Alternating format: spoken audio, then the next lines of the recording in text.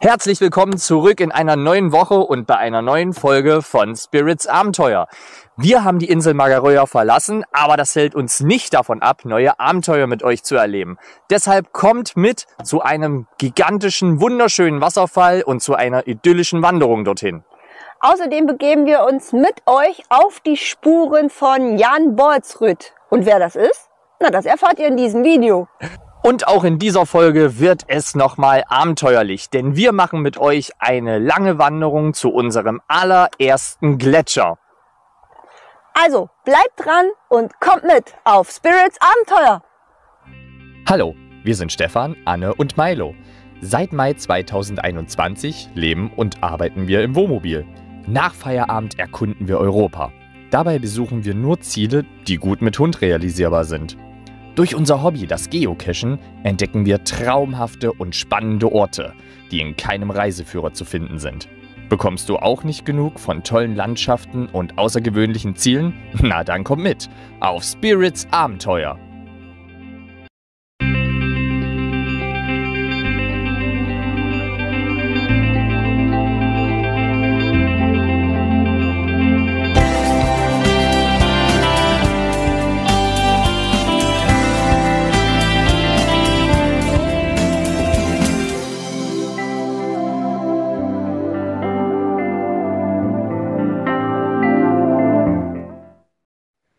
Herzlich willkommen bei einem neuen Video von Spirits Abenteuer. Heute ist schon Donnerstag, mhm. denn wir mussten gezwungenermaßen eine kleine Zwangspause einlegen. Ja, denn meine liebe Anne hat ein bisschen gekränkelt die Woche. Ja, ich habe mir ein ganz besonderes Souvenir vom Nordkap mitgenommen. ja, wir denken, dass sie sich da irgendwas eingefangen hat, weil da war ja echt viel los äh, mit anderen Menschen. Und das sind wir ja so nicht mehr gewohnt, ne? ja, und deswegen ist es diese Woche ein wenig ruhiger gewesen. Also ich war oft alleine draußen mit Milo. Die Runden waren auch nicht so groß. Das Wetter hat auch nicht so doll mitgespielt. Aber heute geht es Anne wieder ein bisschen besser. Genau. Wir haben auch in den letzten Tagen das äh, Böse quasi mit dem Nützlichen verknüpft und hatten einen tollen Stellplatz, wo wir Wäsche waschen konnten. Also Stefan Wäsche waschen musste und äh, wo wir auch eine richtig, richtig schöne Aussicht auf ein Fjord hatten mit tollem Sonnenuntergang. Ähm, das hat der Genesung natürlich auf jeden Fall geholfen. Die Adresse schreiben wir euch wie immer unten in die Beschreibung mit rein. Also fahrt dahin, es lohnt sich auf alle Fälle. Kostet, glaube ich, wie viel noch waren es nochmal pro Tag? Circa 25 Euro. Äh, das ist hier eine richtig coole Sache. In Norwegen und auch in Schweden gibt es ein paar Stellplätze. Das läuft über so eine Hafenfirma und da gibt es eine App, die nennt sich Go Marina. Dazu packen wir euch den Link auch in die Videobeschreibung. Und da findet ihr ganz viele Stellplätze in Haf oder in Häfen, Hafengegenden. Und das macht sich richtig gut, weil man dann ganz unkompliziert über die App quasi einchecken kann. So, jetzt wollen wir aber gar nicht weiter reden. Wo sind wir hier? Wir sind jetzt schon ein Stückchen weiter gefahren von Alta weg. Und jetzt sind wir hier mitten in der Natur und hier soll es einen schönen Wasserfall geben. Genau, den Orbosfossen und das ist eine Wanderung, die ich mir jetzt zum Anfang schon mal zutraue, denn sie hat nur vier Kilometer. Das ist ja völlig in Ordnung. Dafür allerdings 140 Höhenmeter. Mal gucken, wie ich das so wegstecke, aber ich bin frohen Mutes, also los geht's!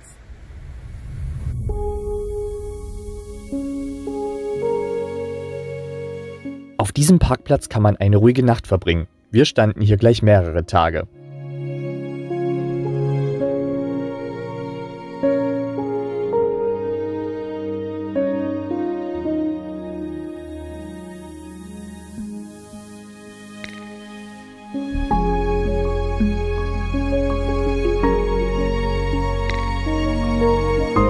Wanderung ist wirklich sehr idyllisch und man erlebt hier Natur pur.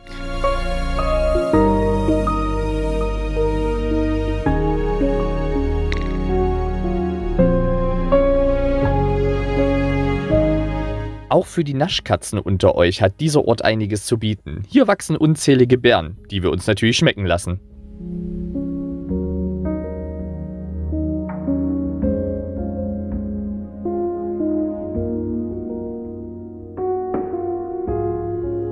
Trotz Erkältung ist für Anne dieser Ausflug auch völlig in Ordnung.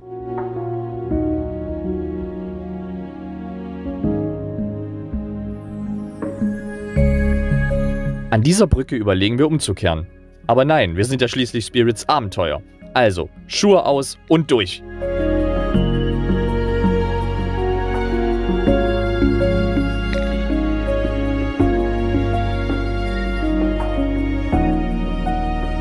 Und nach circa einer Stunde kommen wir an unserem Ziel an.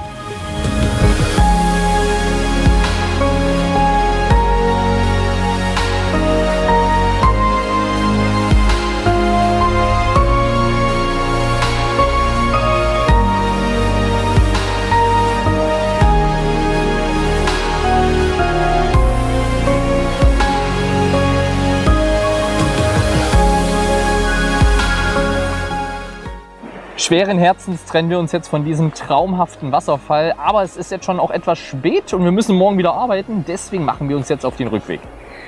Auf jeden Fall hat sich der Weg hier hoch richtig gelohnt. Also es ist ein richtig, richtig toller Wasserfall, gigantisch.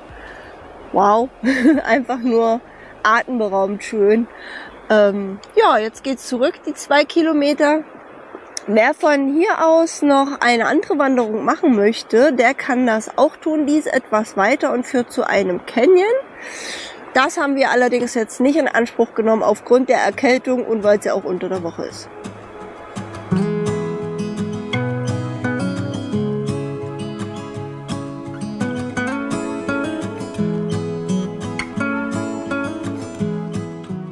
So, jetzt sind wir wieder an der Stelle angekommen wie vorhin. Jetzt wollen wir aber mal schauen, da liegt jetzt noch ein Brett zusätzlich drauf, ob wir mit Schuhen jetzt rüberkommen oder ob es wieder heißt, Schuhe aus, barfuß rüber.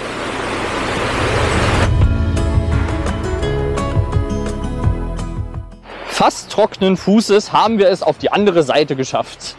Diesmal ohne Schuhe ausziehen.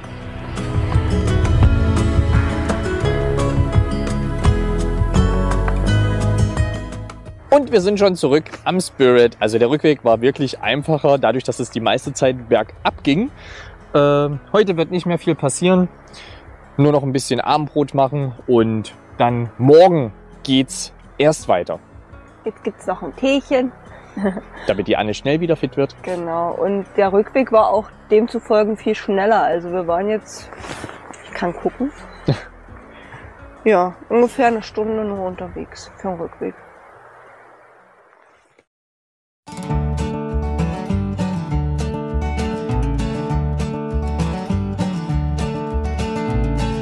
Am nächsten Tag geht es dann eine größere Strecke mit schnellen Reifen weiter.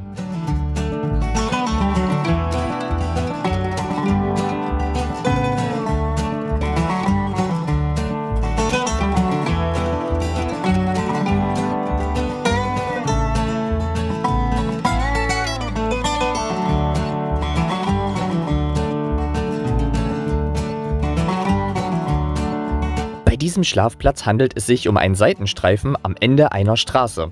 Hier habt ihr sogar die Möglichkeit, Wale zu beobachten. Wir hatten heute jedoch kein Glück.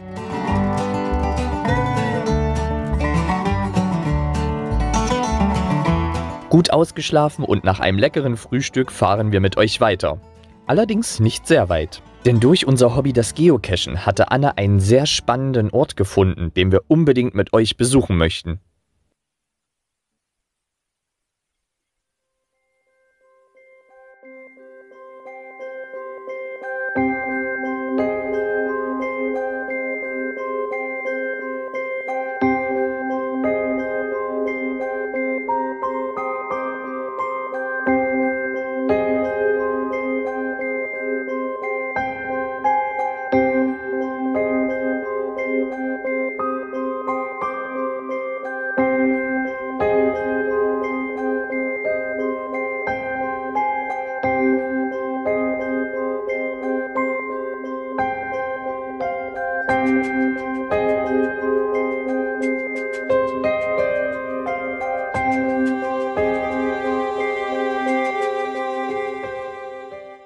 Und nach circa ein bis zwei Minuten Fußmarsch vom Parkplatz sind wir schon an diesem spannenden Ort angekommen.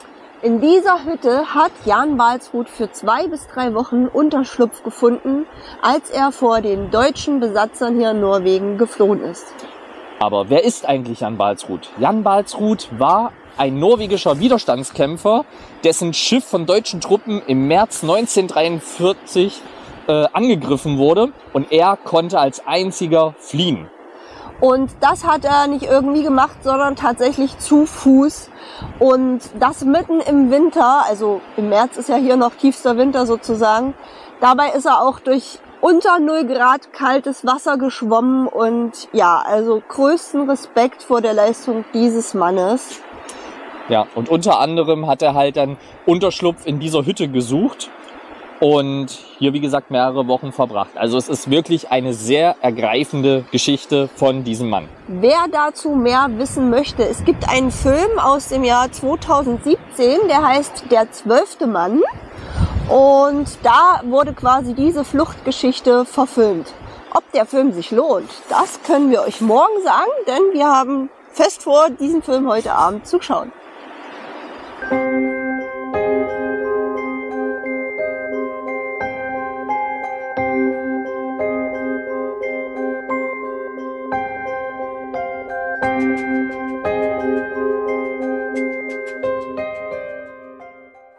Und hier in dem Nachbau der Hütte von Jan Balsruth findet man auf diesem Tisch unterschiedlichste Sachen. Zum einen natürlich ein Buch, in dem man sich eintragen kann und auch die komplette Fluchtroute. Das Interessante ist, dass jedes Jahr ein Marsch organisiert wird, beginnend von Rebenzöja bis hin zur Grenze von Schweden, um diesen, dieser Fluchtroute oder diesem Marsch zu gedenken. Der Marsch dauert neun Tage und dort kann jeder dran teilnehmen. Weitere Infos gibt es auf der Homepage, welche wir euch in der Videobeschreibung verlinken. Selbstverständlich vergessen wir nicht, den Cache zu suchen, welcher uns an diesen Ort geführt hat.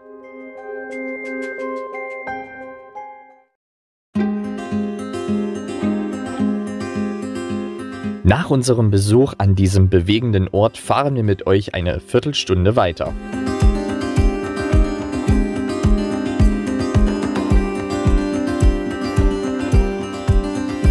Und zum jetzigen Zeitpunkt können wir euch sagen, dass sich der Film Der zwölfte Mann auf alle Fälle lohnt.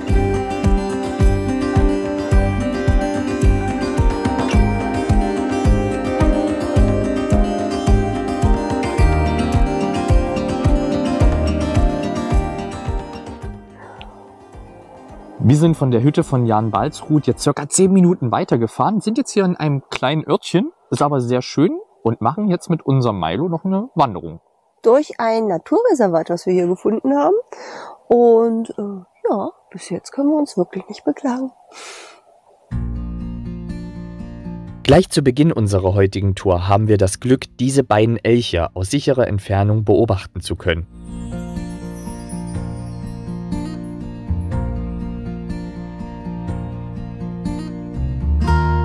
Und wieder mal schafft es Norwegen, uns mit seiner Naturvielfalt zu begeistern.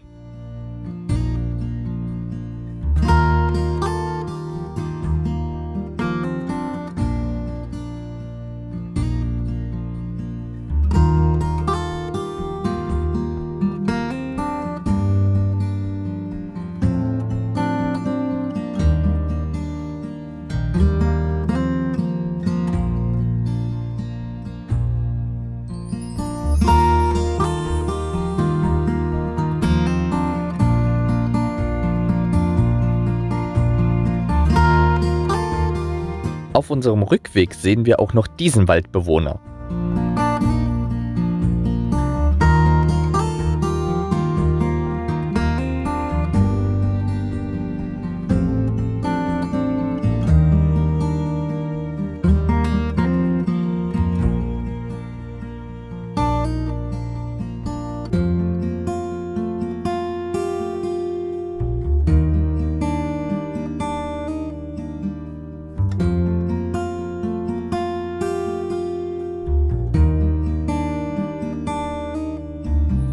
Zu guter Letzt geht es nochmal hoch hinauf, um den letzten Cache des heutigen Tages zu holen.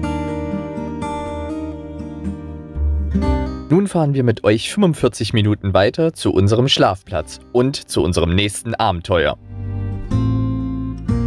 Bei der Ankunft finden wir einen großen Parkplatz vor, für den man für 24 Stunden 11 Euro bezahlt. Dies kann über EasyPark App bezahlt werden. Außerdem gibt es hier Infotafeln und Sitzmöglichkeiten und auch eine Toilette. Und los geht's auf in ein neues Abenteuer. Tatsächlich wird es jetzt zum Ende von diesem Video nochmal richtig abenteuerlich, denn wir besuchen heute einen Gletscher. Und das zum Sonntag, weil ich mir den Samstag noch weiter zum Auskurieren nehmen wollte. Ich denke, das hat auch ganz gut geklappt. Ich fühle mich fit. Stefan ist so lieb und macht Packesel heute. und dann gucken wir mal, ob wir das schaffen. Das ist nämlich gar nicht so ohne. Genau, denn eine Strecke zum Gletscher hin sind so circa sechs Kilometer und der ganze Spaß geht knappe 500 Meter hoch. Das heißt, am Ende des Tages haben wir wieder ordentlich Kilometer und Höhenmeter geschrubbt, wenn wir es schaffen. Mal wenn wir es schaffen. Wir haben gesagt, wir gehen das ganz langsam und in Ruhe an, genau. um zu schauen, wie ich und auch unser Hunderupi das verkraften. Und machen vielleicht auch ein paar Pausen. Ja, nicht nur vielleicht, definitiv machen wir ein paar Pausen. So, jetzt wollen wir aber gar nicht lange schnacken. Drückt uns die Daumen, dass wir das schaffen und wir nehmen euch mit auf dieses Abenteuer.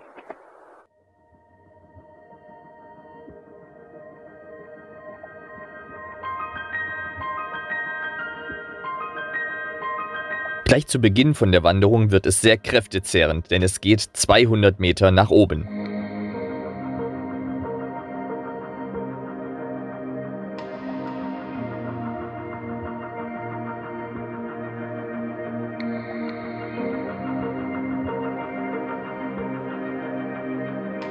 Wir finden, dass sich die Wanderung alleine schon für diese Naturschauspiele lohnt.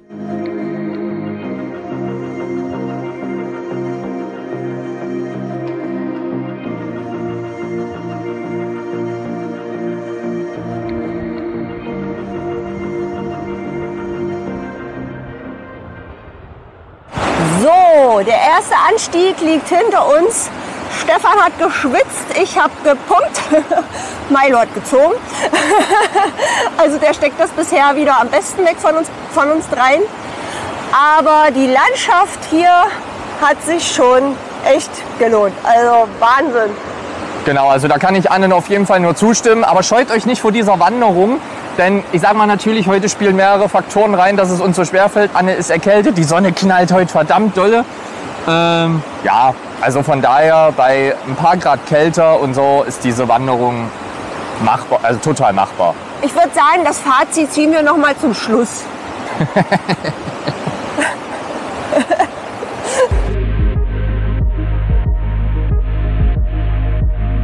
Auf ungefähr der Hälfte der Strecke kommt man an der Steindalshütte vorbei. Wenn man möchte, kann man sich hier für 200 Kronen pro Person die Nacht einmieten.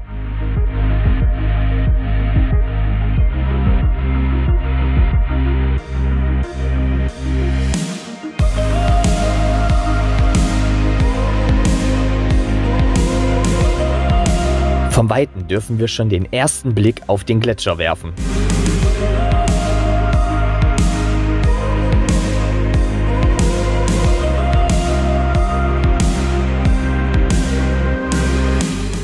So, und jetzt haben wir eigentlich so ziemlich ein Dreiviertel des Weges hinter uns. Und jetzt kommt nur noch mal der letzte große Anstieg. Genau, der wird bestimmt ein bisschen beschwerlich, denke ich, denn der geht über die Moräne. Das heißt, es wird sicherlich sehr steinig und sieht auch ordentlich steil aus. Aber wir schaffen das. Ich habe Stefan wenigstens ein bisschen erleichtern können jetzt. Ja, das stimmt. Anna hatte jetzt nämlich meine, meine Hüfttasche. Ich habe Stefans Hüftgold. ja, und das macht es schon ein bisschen einfacher beim Laufen auf jeden Fall. Und jetzt, wie gesagt, nochmal der letzte Teil. Dadurch, wir sind jetzt sehr motiviert, weil wir wissen, wir haben es bald geschafft. Und dann sind wir schon am Gletscher. Das erste Mal, dass wir einen Gletscher sehen. Juhu!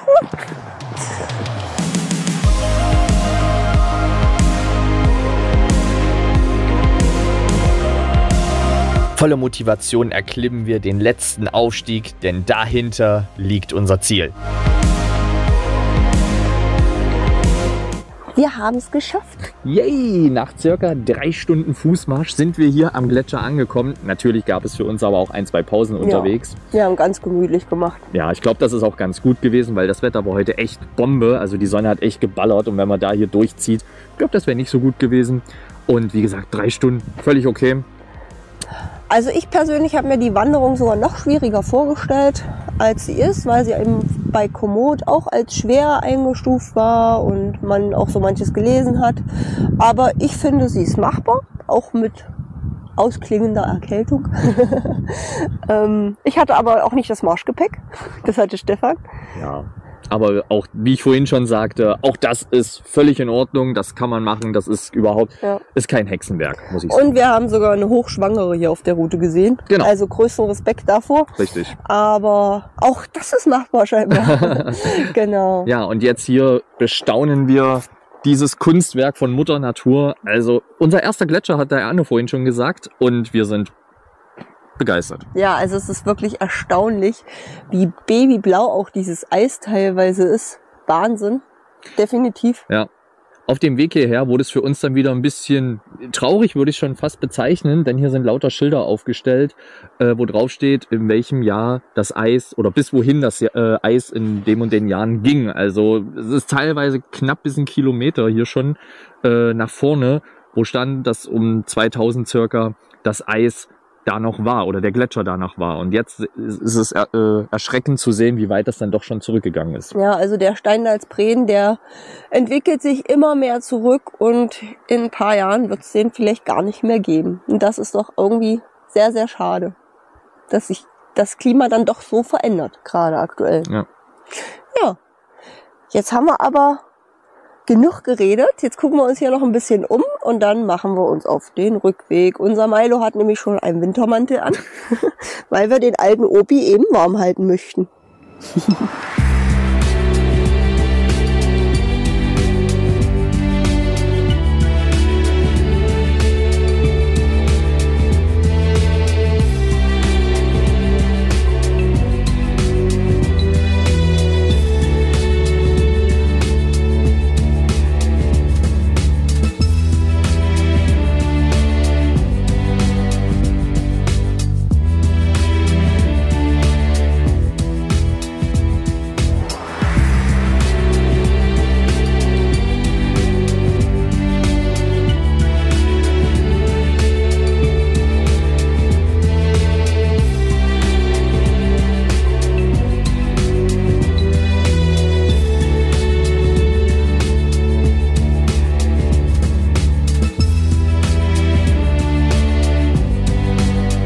Selbst an diesem entlegenen Ort gibt es einen Geocache. Und nun ist es soweit und wir machen uns wieder sechs Kilometer auf den Rückweg.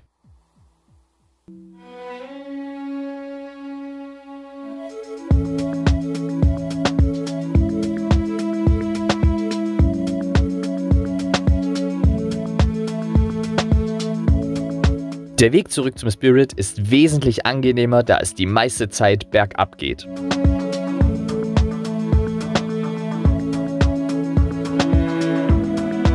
Wir nehmen uns die Zeit und verweilen des Öfteren, um diese wunderschöne Natur zu bestaunen.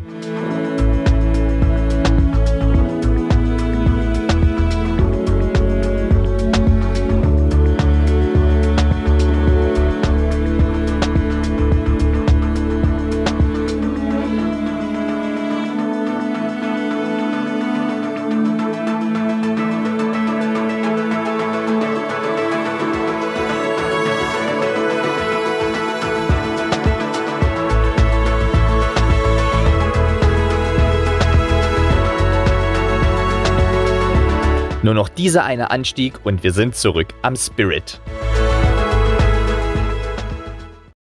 Und das waren auch schon wieder unsere Ziele in dieser Woche. Wir hoffen, ihr hattet genauso viel Spaß wie wir.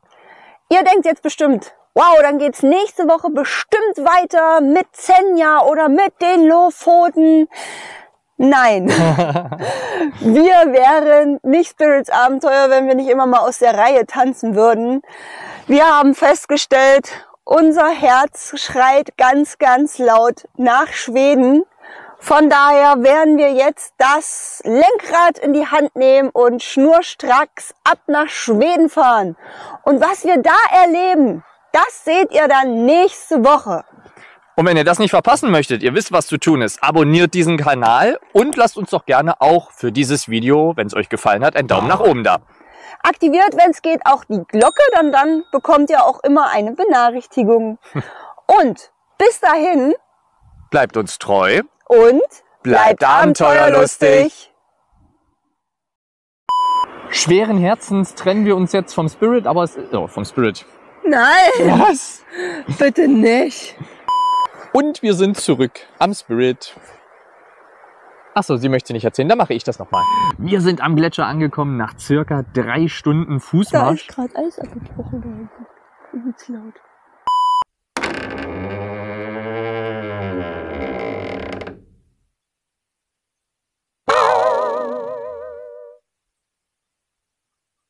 Und heute geht's auf in ein neues Abenteuer. Ja, tatsächlich zum Ende diesem... Äh, Dieses Videos, meinst du? Ich nicht Deutsch. Und du machst wieder Speckschwarte. Ja. Nicht reden, gucken. Schatzi.